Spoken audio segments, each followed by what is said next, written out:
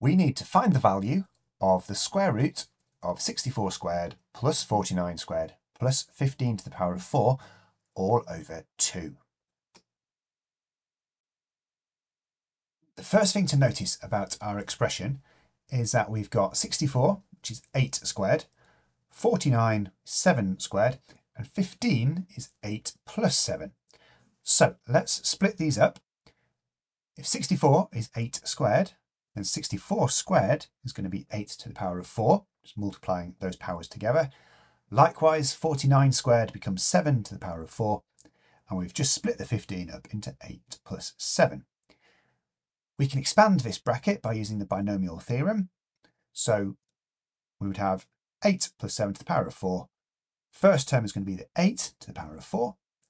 The next one will be 4, choose 1, which is 4, times by 8 cubed times by 7. Then 4, choose 2, which is 6, times 8 squared times 7 squared. 4 times 8 times 7 cubed. And finally, 7 to the power of 4. So if we substitute this into our expression so far, we're going to get another 8 to the 4 and another 7 to the 4 there. So we're going to have two lots of 8 to the power of 4 plus 7 to the power of 4 plus the rest of our expansion and it's still all over 2. All of those terms on the top are multiplied by even numbers, so we can divide 3 by the 2 to cancel out the fraction. So we're left with the square root of 8 to the 4 plus 7 to the 4 plus 2 times 8 cubed times 7 plus 3 times 8 squared times 7 squared plus 2 times 8 times 7 cubed. We now want to try and reduce those powers at the front there, those powers of 4. We can see that if we were to compare this to the square of 8 squared plus 7 squared, we would get an 8 to the 4 and a 7 to the 4 out of that, as well as a 2 times 8 squared times 7 squared. So we can replace our 8 to the 4 plus 7 to the 4 with the square of 8 squared plus 7 squared minus 2 times 8 squared times 7 squared. Now if we do that, those two 8 squared times 7 squareds will cancel out part of the 3 times 8 squared plus 7 squared. So we'll end up with the square of 8 squared plus 7 squared plus 2 times 8 cubed times 7 plus just the 1 8 squared times 7 squared plus 2 times 8 times 7 cubed. Now, if we look at the second and fourth terms, these have both got 2, 8 and 7 as factors. So let's factorise those out.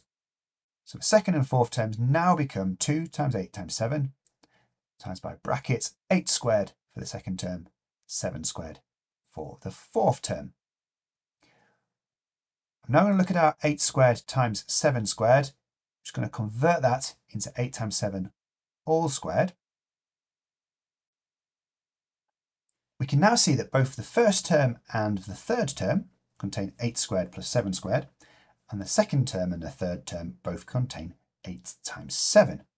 So we've got an expression here of the form a squared plus b squared plus two lots of ab, which is just equal to the square of a plus b. So we can convert this now using our 8 squared plus 7 squared as a and our 8 times 7 as b. We'll end up with the square root of 8 squared plus 7 squared plus 8 times 7 all squared. But the square root and the square will cancel out. We can now do our squaring and multiplication. We end up with 64 plus 49 plus 56, giving us a final answer of 169. If you've enjoyed this video, don't forget to subscribe to the Doing Maths channel or check out some more of my videos by clicking on the links here.